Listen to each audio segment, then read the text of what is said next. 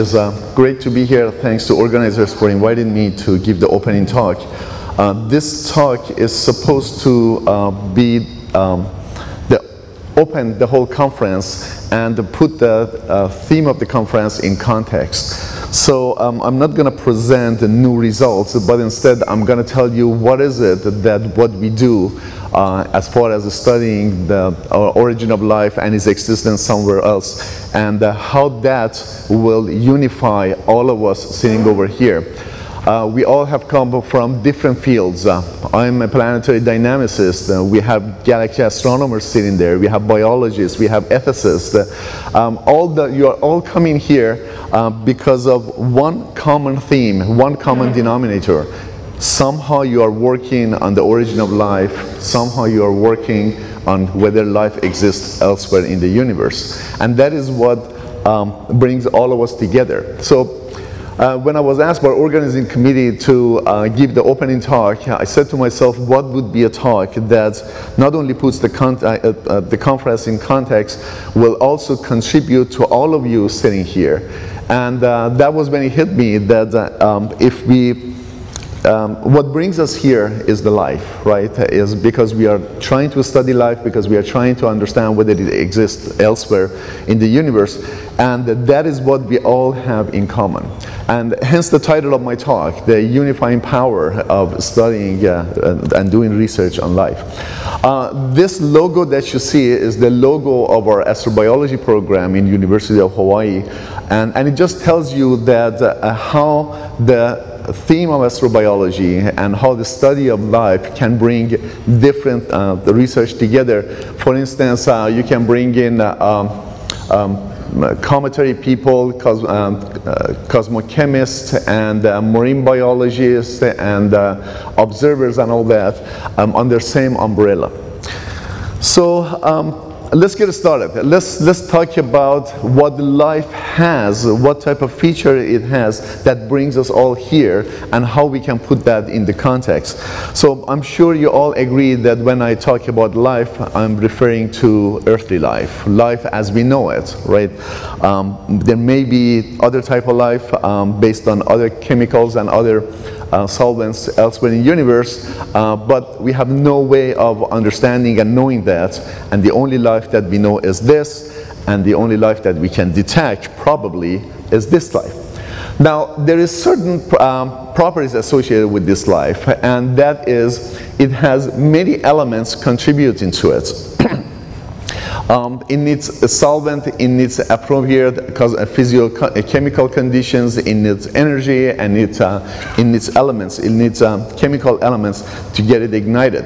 And the common denominator of all this is what we call habitability. When an environment, uh, a place where life is supposed to start uh, and can start, has these elements, there is a possibility for that um, place to be habitable.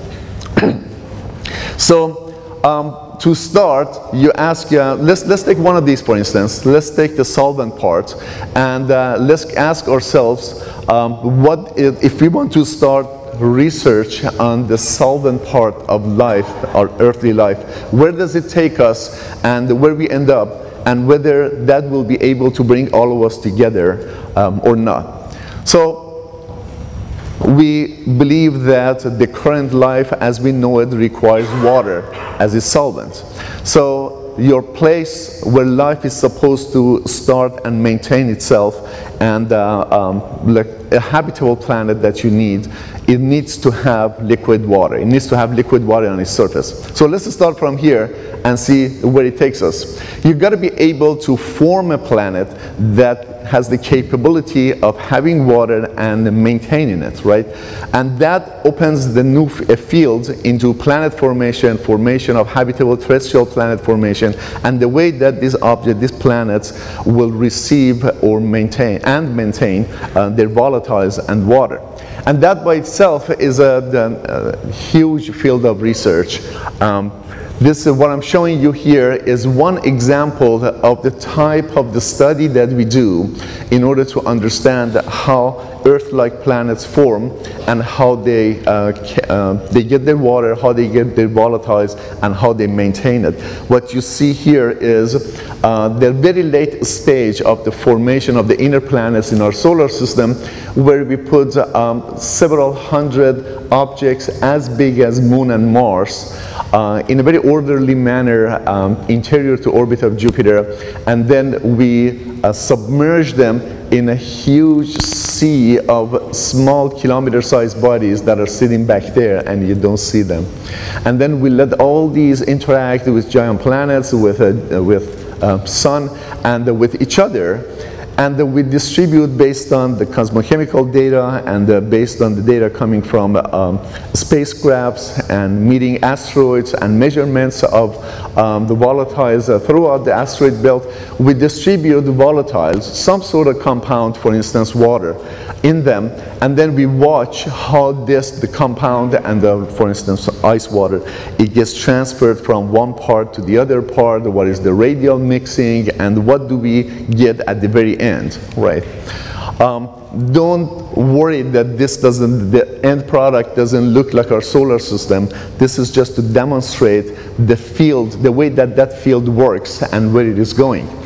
But then you ask yourself if this is the beginning of the late stage of the formation of Earth, where did um, all the chemical compounds and, uh, and water come from? If we are assuming that what brought water to Earth was bunch of uh, asteroids and the big large bodies at the outer part of the solar, uh, outer part of the asteroid belt that provided that, where did they get the volatiles, right? And that open so you're trying to move one step forward to understand how earth formed and brought its um, volatiles and then you got to go one step side and look into how those primitive bodies that you want to consider as your carriers of volatiles they brought their uh, they, they acquired their um, com uh, chemical compounds and their water and uh, well, I'm just showing here Comet 67P, and uh, um, I like this because um, there is a very nice um, a mosaic of all its um, uh, outbursts and the type of elements that have been discovered by Rosetta mission through um, by uh, visiting this comet. And this is uh, um, a bunch of pictures uh, from the Rosetta uh, website showing that the mission was uh, capable of identifying many uh, chemical molecules in, this um, in this asteroid, including water vapor, CO2 ice, and what I called, or they called, a zoo of other chemical compounds. the um, principal investigator of uh, Rosina, Catherine Altwegg, uh, put this together just to show not only the type of compounds that exist, also um, how weird they are. You expect, you go after water, you go after CO2, you go after CO, then you find many other things that you weren't even expecting to find, right? So, like I said, you try to take one step forward to explain the first question, how your habitable planet formed. You got to take one step side, then that opens up a new field of how this um, building blocks of your habitable planet, they, they gained the chemical compounds and that you have to incorporate into your study. And then you ask yourself, okay, if they, if they got, they have the chemical compounds that you need, they have the volatiles and ice that you need, where did that come from? Now you got to go another step uh, on the side or forward, and that brings you to even prior to the time that the planet formation started, to the disk of the nebula, the nebular disk, and the um, science of astrochemistry. So you, you, you're a dynamicist, you try to understand formation, you need another field the field of um, understanding the cosmochemistry to help you. And then that also needs another field, astrochemistry, to help them. And that is, as you see, you, you start from one point and it takes you to different places. And you'll see where we end up. Uh, it's an uh, interesting journey. Uh, this is the image of planet forming disk around the young star V883, um, and the, the, beauty of it is that uh, it was measured by, um, uh, it was it was observed by ALMA. The beauty of it was that they were able to identify um, a dark ring that corresponds to a snow line. The concept of a snow line is a very important uh, matter to planet formation, especially to the formation of uh, habitable planets, because it presents a region beyond which objects can maintain uh, ice permanently. And that can act as a reservoir for bringing in ice and solid um, icy material.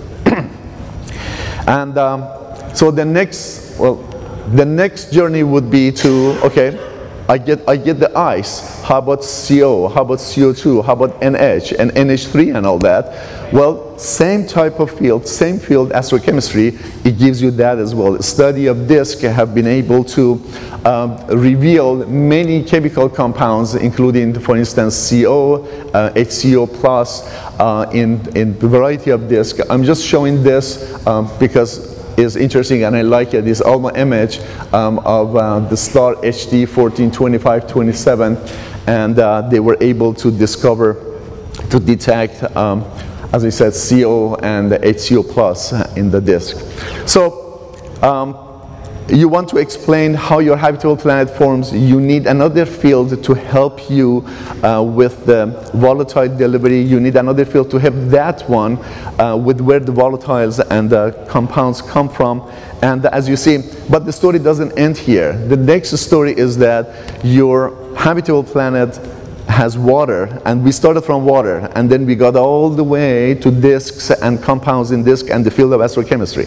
But the story doesn't end there. Your habitable planet, or Earth, has atmosphere, and this atmosphere also has properties. So you ask yourself, where did that atmosphere come from? Was it uh, um, extracted from the nebula? Was it primordial, or it was the result of outgassing? Well, where, um, Again, the field of dynamics will tell you that at the time of the formation, Earth was molten and it cooled down, and as it cooled down, it, it surfaced. Now, now we are getting into another field. We are getting into geology and the interior Earth and everything. And the uh, surface of Earth cracked, there was outgassing, and that outgassing resulted into a secondary um, atmosphere. And uh, then again, it brings the question that, um, okay, what we see as the chemical structure of the atmosphere must be the signature of what is interior to Earth and what was uh, incorporated into it as Earth was growing. And that takes us to another field, that uh, direct interaction between the star and planet that affects the chemical structure and mass of the atmosphere. So it's not like that you have your Earth and is independently is just cooling down and out gases and you have atmosphere. Just the interaction between Earth and sun will determine how much of that atmosphere mass will stay, how much of it will go away. What you see here is that depending on whether the central star rotates rapidly or slowly, the flux of EUV, I'm, I'm, i apologize if you don't see that here, the flux of EUV will be different. And that different flux determines how much of the atmosphere gas will stay, how much of it will go away. Uh, for instance, uh, you see one, of, uh, one um, model here which suggests that what, what you see here is the atmospheric mass. Uh, that indicates if you, you are dealing with a fast rotating star, the amount of atmospheric gas that stays is going to be very much different from a slow rotating star. In other words, the rotation of your central star plays an important role in the amount of atmosphere that stays around your habitable planet. So not only you need the geology to tell you the, about the outgassing and all that, the star-planet interaction dictates how much the atmosphere stays. So I, I hope you, you're getting the picture that you start by one single question and then it takes you so many places. I will put all this together and you will see what a big beast is uh, it will become. Um, so the story doesn't end there. Um, then you have um, um the atmosphere. Atmosphere acts as a, it has a CO2 cycle. The CO2 cycle is deeply connected to geodynamics and interior dynamics of your planet. That plate tectonics plays an important role to cycle material, to introduce CO2, and the CO2 clouds will act as a blanket and that is very important because you need the temperature throughout the planet to stay uniform. Okay, so now I started, first I started uh, from the formation, then it took me all the way to a direction about the primordial nebula, and then I went back to the formation and it took me the, to a direction of atmospheric circulation, and then it took me to geology. So you see how they are, they are being uh, connected to one another. and finally, um, our life uh, is um, requires the magnetic field, or let's put it this way, the magnetic field of Earth has, is very important in order to uh, prevent hazardous material to reach the surface of Earth, uh, which may uh, put our life in danger. That is, again, another part of the interior dynamics that must be um, satisfied for a habitable planet. Okay, so with all this, I put this chart up. You ask your question uh, about habitability and uh, about, you ask question about life and you want to see how uh, the only habitable planet that we uh, know formed and how life came about. And then you end up with this. You open one question and then all of a sudden you have many other things that you have to answer and they are all connected together. The unfortunate fact is that it is not that simple. If, if it was only seven boxes we could deal with it. Um, I will show you an end of my talk that uh, is much more complicated than that But one interesting thing comes out of this. You know, when you put all these together, one interesting thing comes out of it. And that is how our Earth is habitable and how you can use this habitability concept to apply that to other planetary systems. There is no reason to believe that our solar system is unique. We know that it is not unique. There is no reason to believe that Earth is the only habitable planet, and there must be habitable planet elsewhere in the universe, right? But the question is, how can you take this concept of habitability and extend it to others? And that is done through the definition of habitable zone. All that I told you now puts the habitability of our planet in the context and gives you one quantity, habitable zone, one concept that you can apply to other planetary systems and determine whether they have the potential to develop earthly life. I, the emphasis is on earthly life.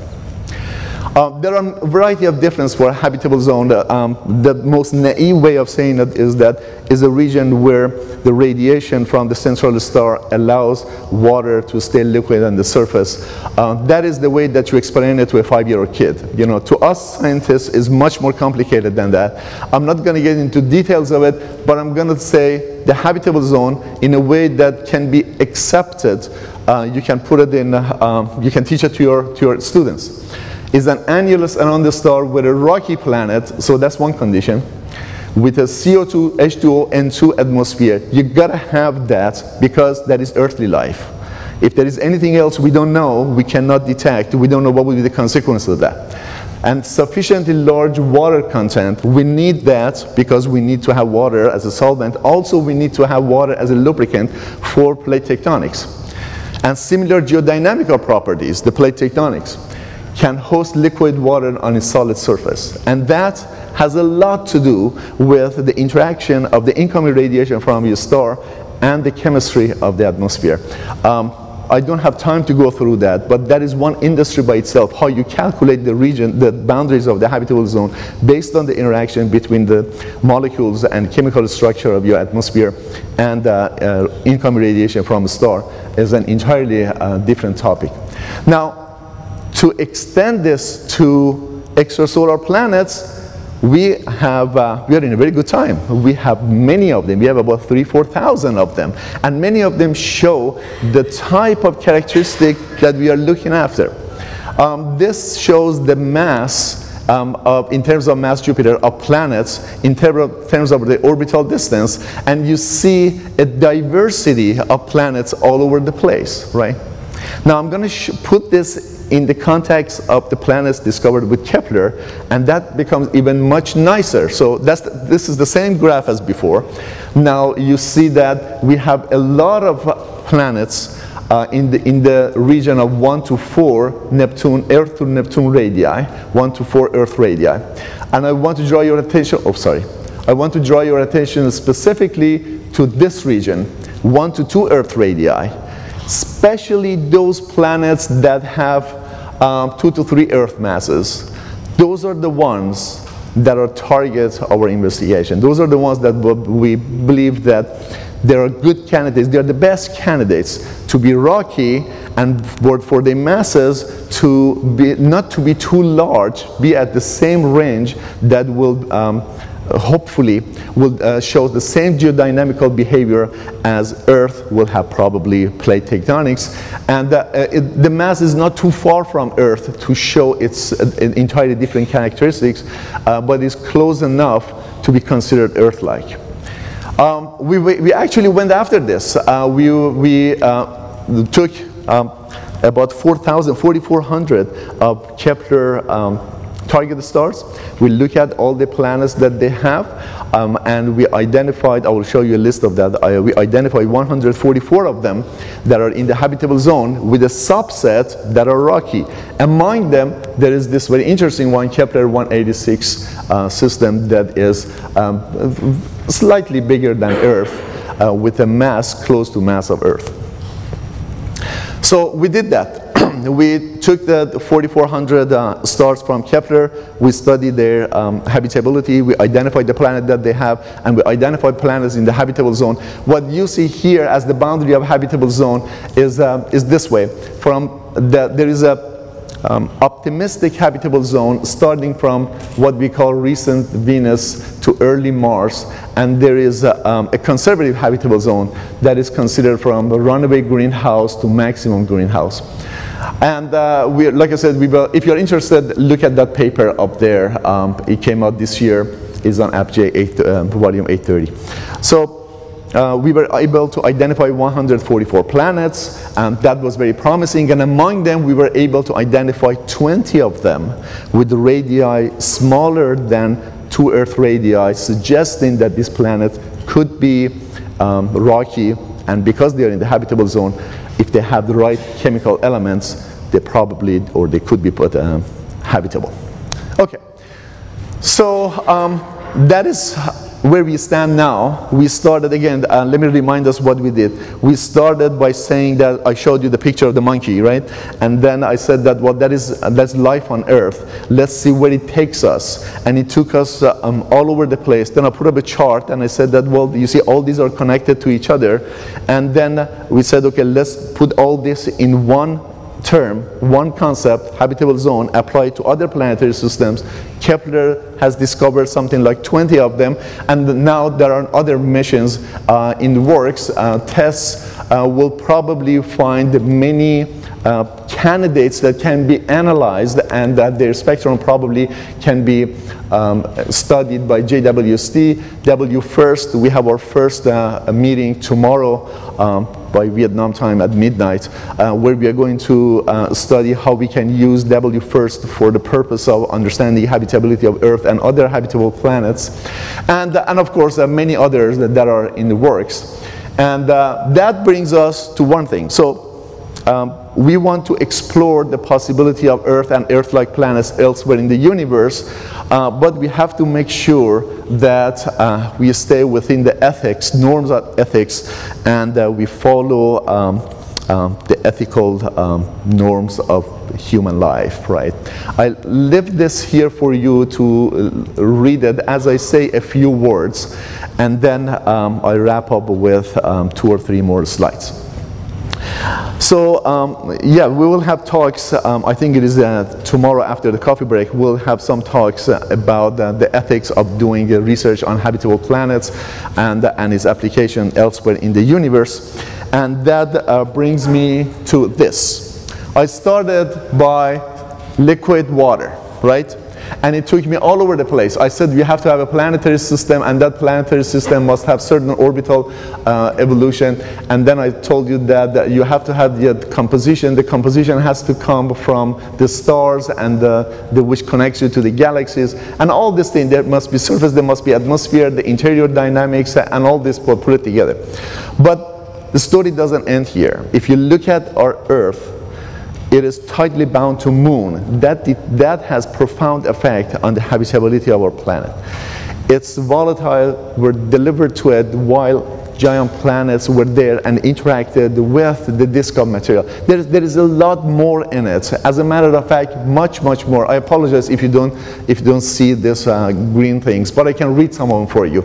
For instance, uh, uh, the magnetic field, uh, depending on the technology, the rotation rate, the obliquity, the minor planets, the dust in the system, the luminosity, isotope ratios, all that will be. And still, I haven't talked about another thing.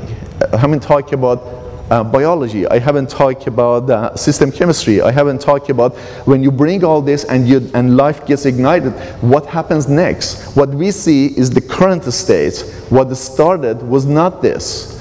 What started was something that we are trying to figure out. We're trying to figure out what was the origin of life.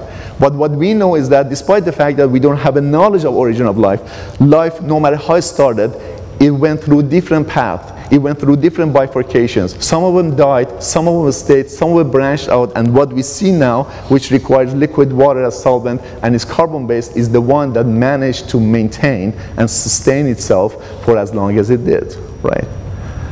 And that I haven't still even talked about. That, that is another entirely different uh, industry.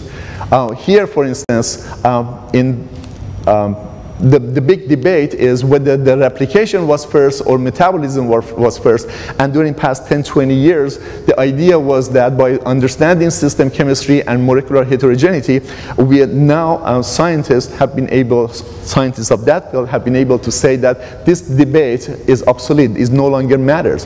What matters is that all basic molecules co-evolved from the beginning and forming heterogeneity from the beginning in a coevolution altogether.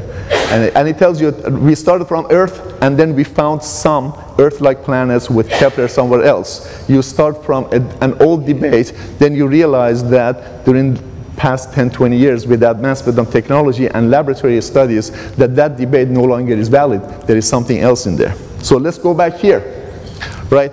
I put that, I put that, uh, that the, it's, it's not just one thing. It's not just liquid water that you need to have a habitable planet. You need to have biology. You need to have composition. You need to have interior and all that.